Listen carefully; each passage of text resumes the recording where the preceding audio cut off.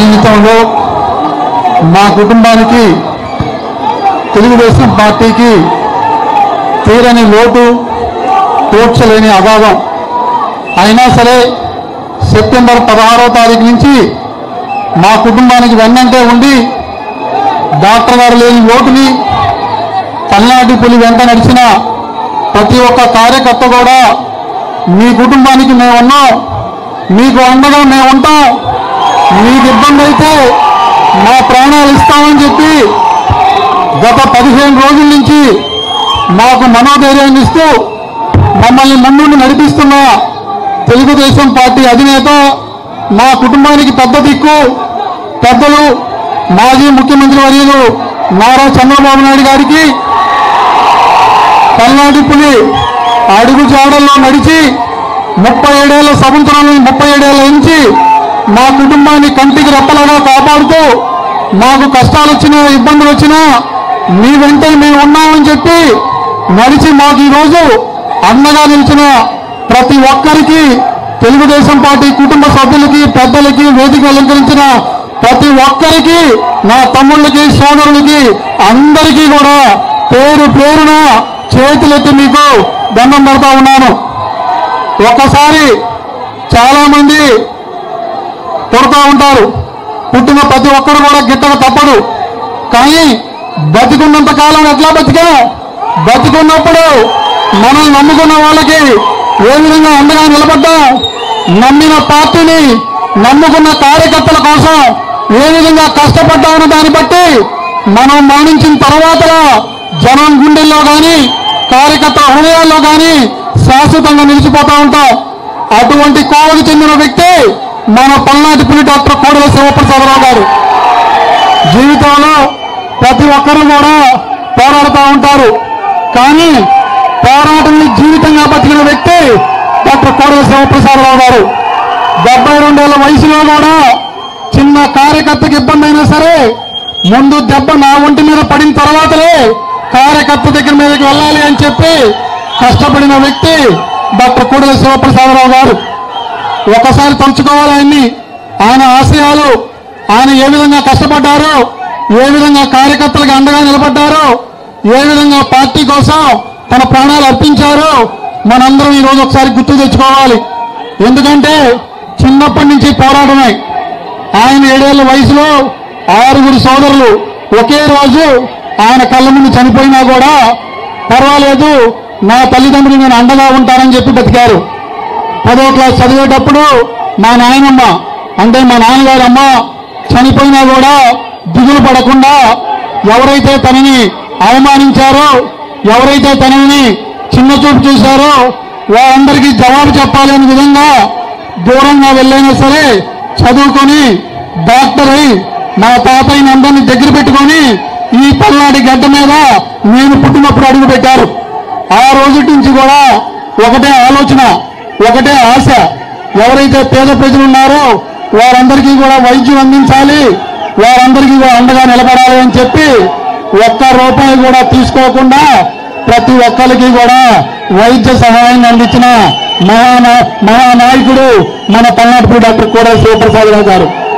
ఆనాడు అన్న నందమూరి తారక రామారావు గారు తెలుగుదేశం పార్టీ స్థాపించి ఇక్కడ వైద్యుడిగా మంచి పేరు సంపాదించుకున్న కోడలు గారు వస్తే ఇక్కడ జరుగుతున్న అరాచకాలను అరికట్టగలరు.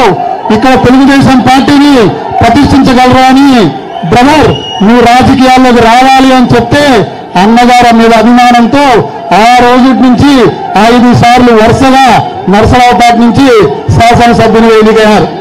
ఆ రోజు ఎన్టీఆర్ గారి ఆశీస్సులతో చంద్రబాబు గారి స్ఫూర్తితో చంద్రబాబు గారి అండతో ఎన్నో మంత్రి పదవులు అధిరోహించినా కూడా ప్రతిదీ కూడా పేదవాడికి ఎట్లా న్యాయం చేయాలి? నర్సరావుపేటలో అభివృద్ధి ఎట్లా జరగాలి? దానికి ఒకటే కారణం ఆ రోజు ఎనభై మూడులో రాజకీయాల్లోకి వచ్చినప్పుడు ఉదయం పూట ఎలక్షన్ మొదలైతే సాయంకాలం ఇంటికి వచ్చే వరకు ఇంట్లో అమ్మ మేమందరం కూడా బయట కుర్చీ తీసుకుని కూర్చునే వాళ్ళం ఎందుకంటే ఉదయం ఐదు గంటలకు వెళ్ళిన మనిషి సాయంకాలం ఇంటికి వస్తాడో రాడో అని కూడా భయంతో బతికేవాళ్ళం.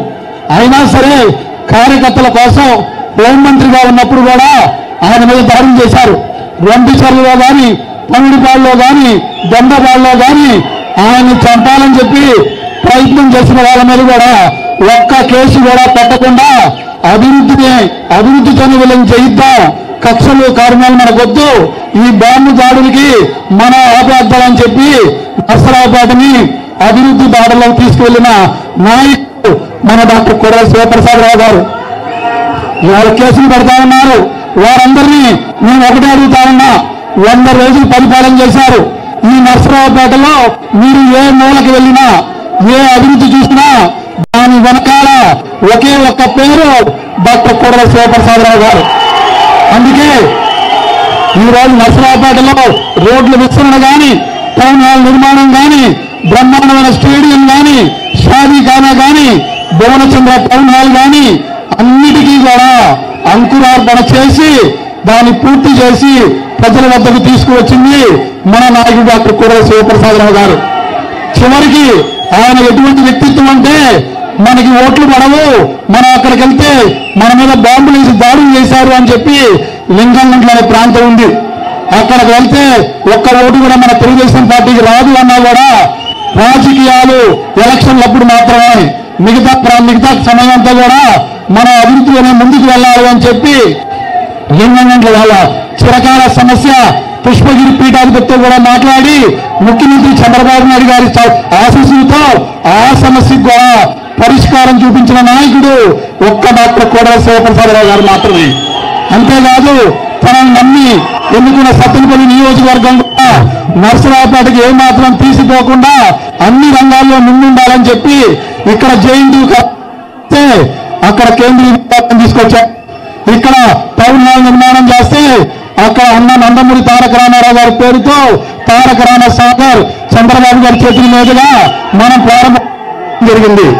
అంతేకాదు ప్రతి పేదవాడికి కూడా ప్రతి పేదవాడు సొంత ఇంట్లో ఉండాలి అని చెప్పి ఈ రోజు మన నరసరావుపేట చుట్టుపక్కల ఉన్న చంద్రబాబు కాలనీ కానీ బీసీ కాలనీ కానీ శివ సంజీవ్ కాలనీ కానీ ఎస్ఆర్కేటీ కాలనీ కానీ అందులో ఉన్న ప్రతి ఒక్కరి మనసులో డాక్టర్ కోడల శివప్రసాద్ గారు చిరస్థాయిగా మించిపోతారని చెప్పడానికి గర్వపడతా ఉన్నాను అంతేకాదు అన్నిటికీ మించి పార్టీ ఏదైనా ఒక కార్యక్రమం పార్టీ ఏదైనా ఒక కార్యక్రమం తీసుకువెళ్ళాలని మనం ఆదేశిస్తే చూచా తప్పకుండా దాని ఆచరణలో తీసుకొచ్చి అవసరమైతే కార్యకర్తల కోసం జైలుకి వెళ్తాను. కార్యకర్తల కోసం లాఠీ దెబ్బలు తింటారు కానీ నా కార్యకర్తల ఒంటి మీద చిన్న దెబ్బ పడినా కూడా ఊరుకోనని చెప్పి బతికున్నంత కాలం పార్టీ కోసం కష్టపడిన నాయకుడు డాక్టర్ కోడల శివప్రసాదరావు గారు. ఒక నాయకుడిగానే కాదు ఒక కుటుంబ సభ్యుడిగా మా అందరికి పెద్ద దిక్కు. ఈరోజు ఆ రోజు బతుకున్నప్పుడు ప్రతిరోజు ఉదయం నేను ఫోన్ చేసేవాడిని. ఉదయం మధ్యాహ్నం సాయంకాలం ప్రతిరోజు నాతో మాట్లాడేవాళ్ళు. అన్ని విషయాలు ఒక చిన్న పిల్లవాడిలాగా ఒక కుటుంబ పెద్దగా ఒక పార్టీ నాయకుడిగా అన్ని విషయాలు చర్చించుకునేవాళ్ళం.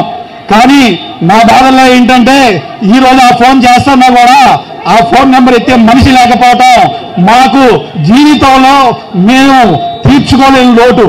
అయినా సరే మేము ఒకటే చెప్తా ఉన్నాం. మా నాన్నగారు ఆ రోజు చెప్పినా ఇప్పుడు చెప్పినా ఎంత కాలం బతికాలని ముఖ్యం కాదు బతికినంత కాలం ఏ విధంగా బతికా ఏ విధంగా ఏ విధంగా పార్టీ కోసం కష్టపడ్డాం ఏ విధంగా పార్టీ కోసం నిలబడ్డాం ఏ విధంగా నమ్మిన వాళ్ళ కోసం మనం అండగా ఉన్నామన్నదే మన చరిత్ర.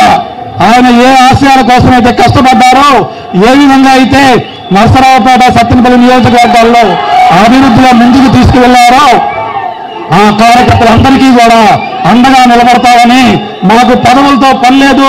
మీరందరూ అండగా నిలబడితే మీరందరూ ఆప్యాయత ఇస్తే మాకు అదే కొండంత అండ అని చెప్పని సభాముఖంగా తెలియజేసుకుంటా ఉన్నా. చివరిగా చివరిగా మాకు ఈ ఈ దుర్ఘటన జరిగినప్పటి నుంచి కూడా మీవంటే మేమన్నాం మీ కుటుంబానికి మీకెప్పుడు కూడా నేను అండగా ఉంటానని చెప్పి ముఖ్య మాజీ ముఖ్యమంత్రి గారిలో మా పెద్ద దిక్కు చంద్రబాబు నాయుడు గారికి మా కుటుంబ సభ్యులందరి తరపున కూడా పేరు పేరున హృదయపూర్వ నమస్కారాలు తెలియజేసుకుంటూ చివరిగా ఇవాళ అవతల పార్టీ వాళ్ళు మాట్లాడుతూ ఉన్నారు. నా మీద రాజకీయాలు చేయబోయారు. చివరికి చంద్రబాబు గారిని కూడా శవ రాజకీయాలు చేస్తామని మాట్లాడుతూ ఉన్నారు. మీకు దమ్ముంటే మీ పార్టీలో మీ పార్టీలో ఒక్క నాయకుణ్ణి ఒక్క నాయకుణ్ణి పల్లాటి పుల్లాంటి నాయకుణ్ణి చూపించండి. మీరు చెప్పిన మాటలన్నిటి కూడా మేము ఏకీభవిస్తామని చెప్తూ మేము బతుకున్నంత కాలం మేము బతుకున్నంత కాలం మా కుటుంబం ఈ పల్నాటి గడ్డ మీద బతుకున్నంత కాలం మేము తెలుగుదేశం పార్టీకి కట్టు బానిసలో. చంద్రబాబు గారి మాటే మా మాట. చంద్రబాబు గారి ఆదేశాలే మాకు శిరోధారి అని చెప్పి తెలియజేసుకుంటూ ఒక్కసారి ఏ ఆశయాల కోసం అయితే ఆయన కష్టపడ్డారో ఆ ఆశయాల కోసం మనందరం కష్టపడి ఆయన స్ఫూర్తిని మనం బతుకున్నంత కాలం మనం అదేవిధంగా ముందుకు తీసుకెళ్ళాలని కోరుకుంటూ జోహార్ కోడల జోహార్ కోడల జోహార్ ఎన్టీఆర్ జోహార్ ఎన్టీఆర్ జోహార్ కోడల జోహార్ కోడల.